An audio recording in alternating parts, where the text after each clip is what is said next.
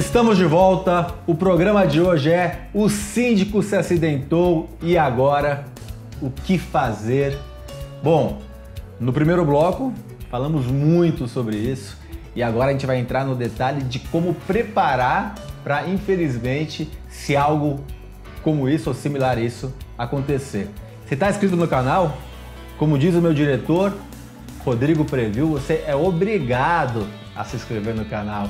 Você deve acionar o sininho, ficar antenado com as informações. E eu acho que você deve compartilhar e disseminar informação de qualidade, porque você vem com a gente nesse objetivo.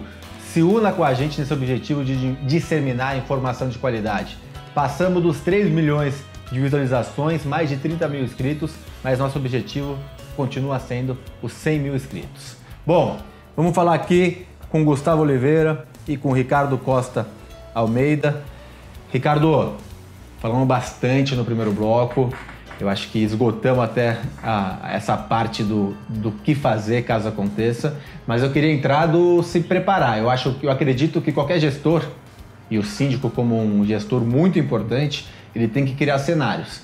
O cenário otimista, que tem que ser o foco, o cenário moderado e o pessimista. E o pior do pessimista é você pegar um Covid, é você se acidentar, são vários pontos, ou até chegar, infelizmente, a óbito. A gente sabe que esse é um cenário pessimista do pessimista, batemos na madeira, uhum. mas o que ocorre? Como deixar o condomínio redondo para ele, para ele andar sem a gente até uma posterior definição? Bom, na, na minha opinião, nós, nós havíamos discutido do bloco anterior a questão de estratégia. Estratégia, né? O colega bem colocou a questão de estratégia. Como é que você aprende a desenvolver uma estratégia? Entendeu? Não é só você sendo síndico orgânico. Pelo amor de Deus, vão para a escola, procure uma escola de sua confiança, vá na internet, pesquise, tem várias boas escolas, vários bons professores. Se você estudar e depois você for trabalhar dentro de um condomínio, você vai ver que o estudo, o ensinamento que você teve fez uma diferença enorme. Hoje o ex-social está destruindo os síndicos, uhum. porque o síndico responde civilmente com o patrimônio dele. E muitos síndicos que não conhecem da legislação estão é, extrapolando, entendeu? Na, nas contas dos seus condomínios e estão respondendo civilmente. O E-Social regula isso daí. É mais ou menos um presidente da República que estoura o orçamento e depois vai dar pedaladas.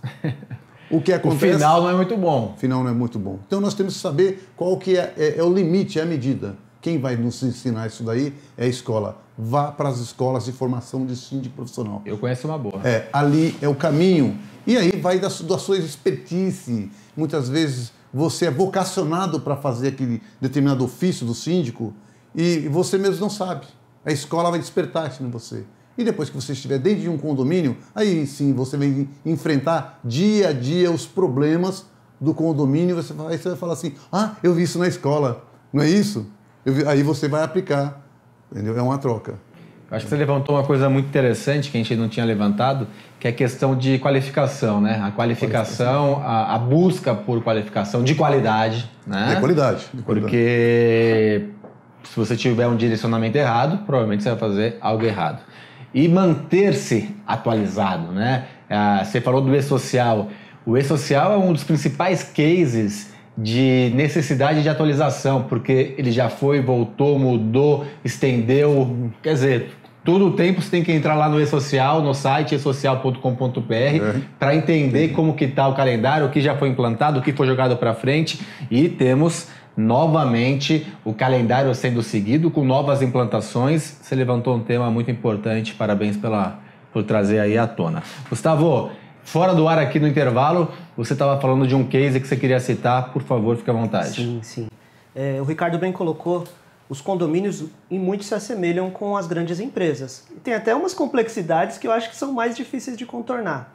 E nesse sentido, eu gosto muito de avaliar, de, de conhecer, de ver esses, esses é, empresários que começam do, de baixo, começam com pouco e que vão se desenvolvendo, chegam ali a um cargo de direção em uma grande empresa, multinacional às vezes. E, e aí isso só acontece porque tem um foco ali no planejamento estratégico. E a, como você bem lembrou, é... Shining Box é um exemplo. O CEO da Shining Box sofreu um acidente em 2019, ficou meses e meses em coma e agora ele ainda está fora da, da direção né, executiva, mas mesmo assim o Shining Box continuou estável e até cresceu na ausência dele. Eu acredito que isso aconteceu porque, porque teve ali um planejamento estratégico muito bom, com procedimentos, com normas, tudo muito bem definido que, que permitiu que, que a empresa continuasse num, num padrão bom de, de evolução. O mesmo tem que acontecer com os condomínios, né? Condomínio tem que ter um planejamento bom, tem que estar muito bem organizado, porque afinal a gente está lidando com vidas, né? Eu, eu, antes dessa gravação, a gente gravou um programa anterior com outro síndico, né? Vocês até cruzaram eles na saída, né? Uh, e um deles me mostrou um trabalho que realizou dentro de um condomínio. Não sei se vocês tiveram o prazer de ver, que era um trabalho bem grande. E o, o primeiro ponto que ele colocou ali foi o levantamento de tudo que tinha no condomínio. O segundo ponto, do estado de tudo que tinha no condomínio. E o terceiro ponto, todos os procedimentos descritos que estão ali dentro. Então, se caso um síndico tem um trabalho desse, se acidente, você pega qualquer outra pessoa qualificada, pega ali e já sai com uhum. 90% do trabalho realizado. Então, a importância de você ter nada na cabeça. Ah, tá aqui, ó. O síndico. Liga pro síndico que ele sabe. Não, não, não pode ser liga pro síndico que. O síndico sabe tudo. Desculpa, esse síndico não é o, o competente, é um competente que é centralizador. Uhum. Na verdade, você tem que preparar a sua equipe para. e tem que ter alguns materiais de apoio para que possam andar com as suas próprias pernas, né? E aí, trazendo isso, vocês falaram de base, base, base, base de ensino, base de conhecimento. É a gente fazer o detalhamento do trabalho na base, né, Ricardo? E ter descrito os procedimentos como uma empresa, né? E não depender, mais uma vez, na cabeça nem do síndico, nem do zelador, nem de ninguém. É, é os procedimentos, você montar os procedimentos, isso faz parte de qualquer grande corporação. Você vê é, as forças de segurança do Estado atuando, eles chegam em um determinado local, a Polícia Militar, por exemplo, existe uma hierarquia enérgica ali, né? De soldado ao coronel. Aquilo ali tem um procedimento pré-estabelecido, estudado e passado homem a homem. Cada um sabe qual a sua função. Nas empresas e nos condomínios, o procedimento deve ser o mesmo. Tanto é que no condomínio existe uma hierarquia, é que as pessoas não percebem. Uhum. Nós temos quem é o CEO do condomínio? É o síndico. síndico. Ah, mas ele é o senhor dono do condomínio? Não, não. Ele, não, é, um prestador, ele é um prestador de serviço. Os condôminos confiaram nele, ou elegeram e o contrataram. Não é isso? Ele é o CEO. Ele fala em nome dos condôminos, da pessoa jurídica do condomínio. E aí, na, na ordem hierárquica, nós temos ali conselho consultivo, nós temos o gestor, não é isso? nós temos o síndico e nós temos os funcionários, que muitas vezes são orgânicos ou os terceirizados. Aí entra os contratos terceirizados. Isto é uma cadeia hierárquica pré-estabelecida.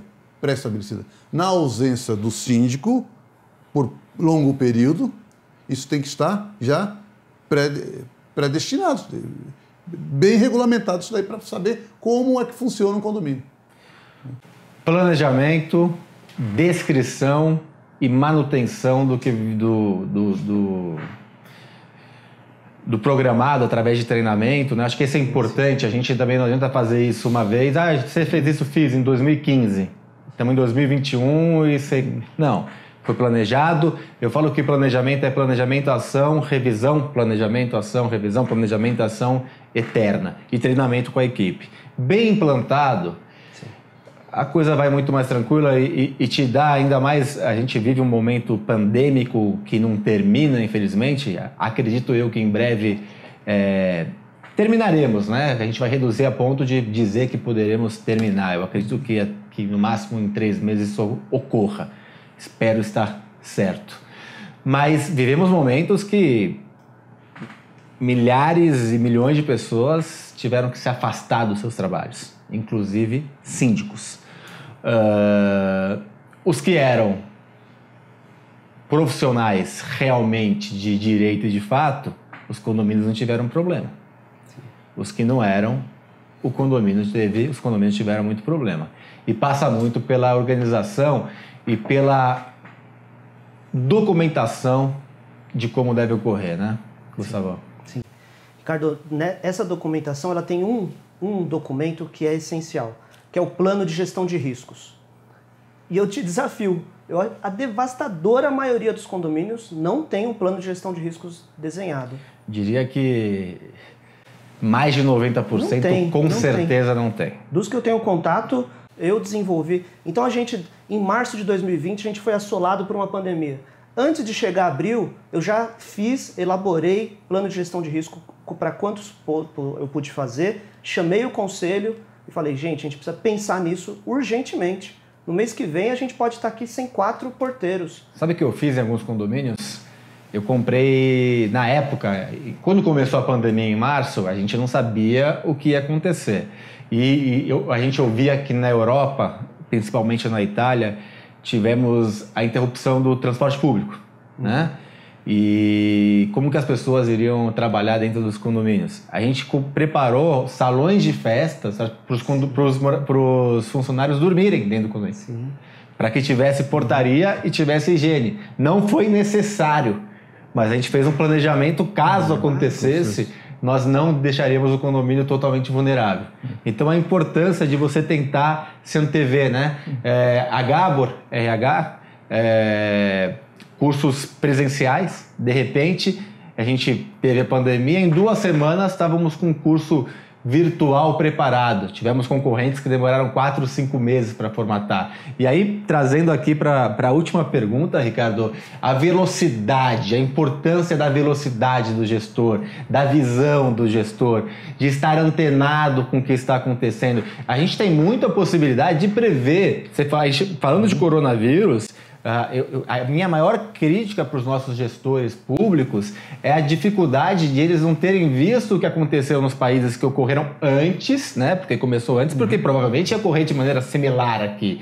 E nós temos a possibilidade de verificar países ou verificar outras realidades que vão ser trazidas para o cenário condominial. Então, eu queria que você falasse um pouquinho com a sua vasta experiência sobre isso. É, A questão da velocidade, muito embora muitos síndicos profissionais, até os orgânicos, eu falo síndico profissional porque eu, nós vivemos aqui o universo síndicos prof- profissionais. Né? É, não gostem do WhatsApp, imagine você administra aí 10 condomínios, 300 unidades por condomínio, todos os condôminos ali no WhatsApp. Então, muitos profissionais não gostam dessa ferramenta. Eu gosto dessa ferramenta. Ela me dá uma, uma- eh, Eu consigo, de forma célere, dar uma resposta muito rápida. Mas não preciso eu, pessoa física, resolver. Você tem que saber delegar e cobrar. Por isso, você tem uma, em cada condomínio você tem uma equipe. Mas chegou a demanda, você analisa e determina ao seu zelador, ao seu gerente predial, e você cobra imediatamente. Então a ferramenta ela serve para isso. Não é? Agora, quanto a essa bendita doença, que é Covid-19, né? É, um síndico profissional lá de Santos, inclusive eu tenho unidade nesse condomínio, ele faleceu. Foi uma perca muito grande para o condomínio. Só que ele era síndico profissional, tinha mais dois sócios na empresa. O condomínio continuou andando através dos dois sócios, mas foi uma perda muito grande, porque ele tinha idade avançada e colocava a cara a tapa todos os dias com os condôminos. Acabou falecendo recentemente. Fica lá em Santos. Inclusive, eu, eu- eu tenho unidade nesse condomínio, eu moro lá também. Mas nós temos que eh, repensar, pensar e repensar o que você havia colocado agora, para que as pessoas eh, realmente se conscientizem e procurem escolas. Hoje Estudo. os cursos são aplicados via EAD. As pessoas não precisam vir mais pessoalmente nas escolas. Isso. A escola lhe dará uma bagagem de tal ordem que você não vai ficar perdido diante dessa loucura que se transformou o, o- se transformou o quê? O mundo, o nosso país, os nossos condomínios, por conta eh, dessa pandemia que causa insegurança aqui, ali, aqui, ali. O tempo todo. Se Deus quiser, em três meses, como bem colocou o Ricardo, Assim espero. não é isso? Ela vai deixar de existir. Mas nós temos que trabalhar, planejar aqui para que no futuro aconteça. Enquanto não existe uma cura 100% da doença, vamos planejando aqui para que os, condômi- os condomínios que são nossos clientes, né, não venham pagar um preço mais alto ainda do que vem pagando. E os condomínios vêm sofrendo muito, né? aumentos de água, energia elétrica, Gás. gás. Saíram todas as empresas e foram para dentro dos condomínios. As empresas estão deixando de ter despesas e transferindo para os condomínios. tá? Por isso que o, o síndico tem que se preparar para enfrentar isso aí. O que eu faço? O que eu faço? Uma conta de energia elétrica que custava 30 mil, agora custa 60 mil. Por quê? Uma conta de água que custava 40, agora custa 80. Por quê? Para ele saber o porquê, ele tem que se preparar. Perfeito.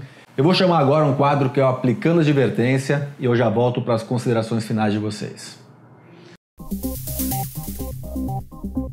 A advertência hoje vai para você, síndico, que não se planeja. O planejamento ele deve ser em três cenários: otimista, moderado e pessimista. Nós temos que ser otimistas por natureza. Temos que buscar atrair só as coisas boas. Mas não podemos esquecer que, infelizmente, coisas ruins acontecem com a gente, com as pessoas ao nosso redor, com a estrutura do condomínio. Então, qual é o seu planejamento para quando algo ruim acontecer? Se for com você, com a sua equipe ou com um condomínio. Você tem? Se não tem, faça agora. Se tem, revise constantemente. Nós vivemos um mundo de transformação. Transformação cada vez mais rápida. Então, plano de contingência para todas as áreas do condomínio e sempre revistos, atualizados e com a sua equipe e parceiros treinados. Fico alerta, isso aqui pode salvar a vida financeira do condomínio, a vida estrutural do condomínio, a vida de comodidade do condomínio ou até a vida de uma pessoa. Fico alerta. Gustavo, muito obrigado pela presença, sempre agregando muito ao nosso programa. Te vejo em breve. Eu que agradeço, Ricardo. Queria deixar um recado. O síndico, ele ele está num cargo eletivo, ele está ali representando dezenas, centenas de famílias. Então ele tem que fazer jus a esse, a esse voto de confiança que ele recebeu e se dedicar integralmente, se dedicar 100% para o que ele faz. E para mim é sempre uma honra estar aqui contribuindo com esse seu propósito que é muito nobre de melhorar, de transformar os condomínios. A honra é nossa, eu que agradeço. Ricardo, meu xará, muito obrigado. Como sempre, a participação muito valiosa e te aguardo em breve aqui também. Oh, obrigado, Ricardo. Eh, Eu gostaria de deixar para o nosso colega aí, síndico, eh, apenas um esclarecimento. Não se paute lá no 1348. Ah, Lá apenas elenca né, eh, algumas regras. Ele tem que vivenciar a administração de um condomínio. Ele tem que vivenciar. E apenas o Código Civil não vai nortear a vida da administração do condomínio. Esqueça daí. Toda hora eu vejo bendita. Nasceu uma discussão, eles vão lá no Código Civil. Não é assim que funciona, tá bom? Eu agradeço. Isso falado por um advogado, hein? Isso, é. Porque é- Tem mais peso, tem mais é peso. a, a experiência do, do dia a dia. Você tem que somar uma coisa à outra. Né? É muito importante você estudar. Por isso que eu sempre oriento todo mundo: vá para uma boa escola. Vá para uma boa escola. Eu sempre fico batendo na mesma tecla, tá? Porque funcionou comigo. Se funcionou comigo, vai funcionar com todo mundo, tá? Agora, eu agradeço mais uma vez pelo convite, né? E é, aqui ele está, é, é, bem acompanhado por um síndico profissional, domina, é, demonstrou realmente dominar, né? Conhecer realmente do segmento. É, eu sou mais didático, né? Então, é a soma é, agrega, né? Com certeza. É, estou muito feliz neste dia, não só pelo seu convite, mas ontem nasceu meu quinto neto. Parabéns. Né, o Theo, né? Parabéns. E hoje é o aniversário do meu neto mais velho, o Breno. Um beijo para todo mundo. Um beijo pro Breno. E espero participar de novos programas a seu convite. tá? Com Obrigado. certeza assim será. Muito obrigado. Obrigado. Está gostando do canal, está gostando do programa? Siga, curta, compartilhe, informe aos demais e vamos junto com a nossa missão. Nossa missão é profissionalizar o segmento condominial, é fazer ele cada vez melhor e como a gente vai fazer isso? Através de informação e informação de qualidade. Vejo você semana que vem.